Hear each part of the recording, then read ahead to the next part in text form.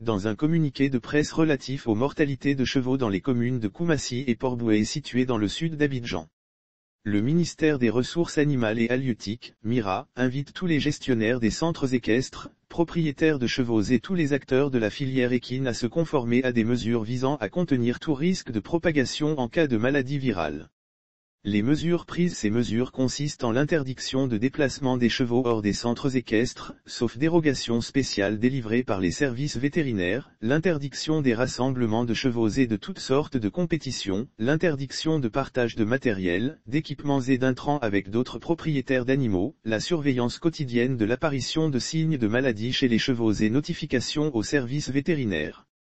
nettoyage et désinfection régulier des bâtiments, des équipements, des véhicules de transport des chevaux, à la mise en place de pédiluves, rotoluves, dispositifs de lavage des mains. Elle consiste également au nettoyage et désinfection régulier des bâtiments, des équipements, des véhicules de transport des chevaux, à la mise en place de pédiluves, rotoluves, dispositifs de lavage des mains, et au contrôle strict de la circulation humaine en interdisant l'accès des personnes non autorisées aux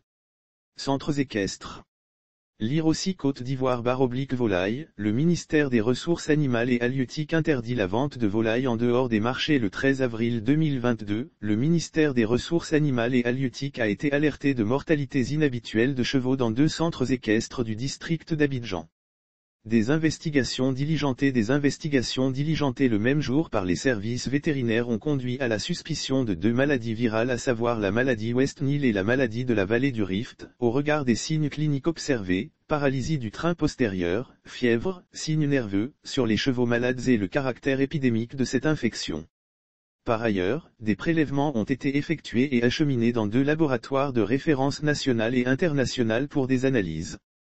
Sidi Moko Touré, remercie les partenaires et acteurs de la filière équine pour leur franche collaboration, et les invite, les plus proches face à toute anomalie observée sur leurs animaux dans l'attente des résultats de laboratoire, les mesures conservatoires ont donc été prises conformément à la réglementation en vigueur, pour contrôler les mouvements des animaux et éviter une éventuelle propagation du danger sanitaire.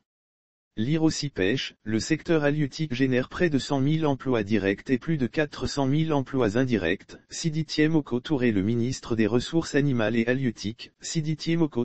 remercie les partenaires et acteurs de la filière équine pour leur franche collaboration, et les invite à informer les services vétérinaires les plus proches face à toute anomalie observée sur leurs animaux, conclut le communiqué de presse publié le mercredi 27 avril.